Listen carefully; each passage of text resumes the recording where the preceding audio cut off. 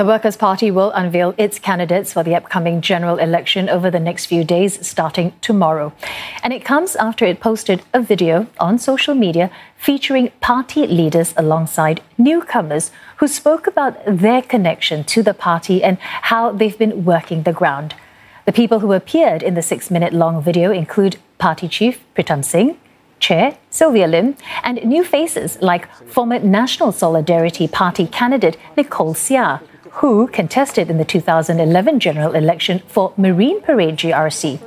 Also featured were Raeesah Khan, who's the founder of non-profit organization Reyna Movement, economics professor Jamus Lim, and lawyer Fadli Fawzi, and Youth Wing EXCO member Yudhishthra Nathan.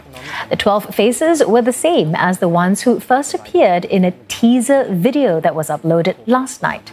The WP has yet to reveal where it plans to contest in the upcoming general election. But volunteers have been spotted distributing the party's newsletters in several estates in East Coast GRC since restrictions due to COVID 19 were eased last week.